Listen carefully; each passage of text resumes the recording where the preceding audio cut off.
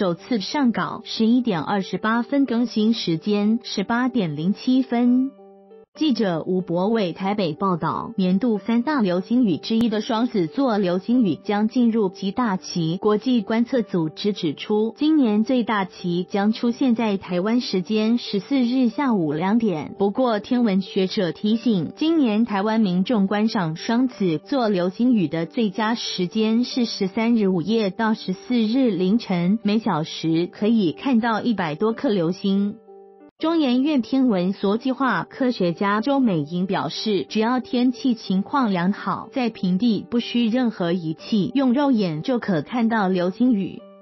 周美莹说明，流星雨是散落在宇宙中的彗星碎片。当地球沿着轨道运行，并经过这些碎片散落的地带时，碎片以高速投射的方式进入大气层而形成的天文景象。由于碎片散落的区域与地球轨道皆为固定，因此每年固定时间，例如八月、十月或十二月都可看到流星雨。其中又以每年七月底到八月初的仙鹰座。流星雨，十二月初到十二月中的双子座流星雨最为清晰。根据国际观测组织的数据与台北市立天文台的资料，今年双子座流星雨的最大期将出现台湾时间十四日下午二点左右，每小时可以看到一百二十颗以上的流星。不过，周美英说明，民众并无法透过肉眼观测。对于台湾民众而言，今年最佳的观测期是在十三日晚上到十四日凌晨。周美英表示，由于双子座将于十三日晚上